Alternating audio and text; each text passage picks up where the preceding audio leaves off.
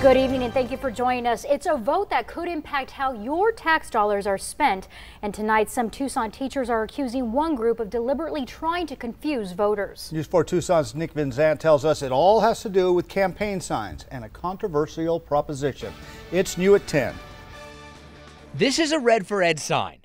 This is a sign urging voters to vote yes on Proposition 305, something officials with the Red for Ed movement say they are absolutely against. It's pretty disappointing, and, and at some points, I might even say it's despicable. Jason Freed with the Tucson Education Association says the Yes on 305 signs copies the Red for Ed movement signature color, font, and style, changing only the hashtag from Red for Ed to Yes for Ed. There's an attempt to steal, and, and it really is, it's stealing from educators, from the educators who've given time, energy, um, passion, sweat to try to help our kids, help our community, help Arizonans. In response to written questions, a spokesperson for Yes for Ed says, quote, the signs and messaging are clear. They simply encourage people to vote yes on Prop 305.